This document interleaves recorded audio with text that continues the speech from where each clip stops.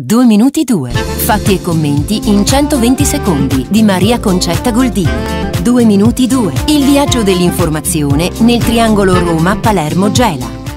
Nuovo appuntamento con 2 minuti 2 da Maria Concetta Goldini, un saluto a tutti gli ascoltatori. In piena campagna elettorale la maggioranza del sindaco Lucio Greco ci ha regalato una maxi lite interna che ha coinvolto un movimento e due partiti. Il movimento è una buona idea, il suo leader è il vice sindaco tadenziano di Stefano. I partiti sono Forza Italia e Nuova DC. Tutti in campagna elettorale col centrodestra e con i loro candidati locali e non. Ebbene, dalla lite scoppiata in aula consigliare per i ritardi sulla sulla Tari e la sua agevolazione e il caos in via Venezia, apprendiamo che ci sono assessori che non sanno gestire l'ordinario così che non si rispettano gli impegni presi con i cittadini e poiché ci sono anche molte gelosie e invidie determinate dalla campagna elettorale, ecco che il cocktail micidiale esplode ed ancora ci sono movimenti falsamente civici e c'è chi trama per ottenere la leadership dentro la giunta. Insomma, se ne sono detti strette e così tante che a questo punto ci chiediamo perché stanno insieme, chi li obbliga a stare insieme. Ora c'è la campagna elettorale e tutto è stand by, ma dopo che la campagna elettorale sarà finita la situazione migliorerà. Certo il sindaco non ha interessi a favorire divorzi all'interno della sua maggioranza, servono i numeri in consiglio comunale per governare, ma diciamo che almeno eh, che mandi i suoi a lezione di civile convivenza, che imparino a stare stare separati in casa senza litigare ma con eh, l'intento di essere produttivi. Questa può essere una formula per completare questa sindacatura in santa pace senza balli, balletti, ripicche e gelosia. Al prossimo appuntamento.